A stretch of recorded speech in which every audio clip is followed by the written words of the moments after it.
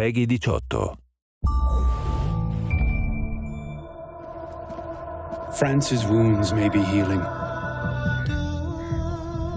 but mine only fester.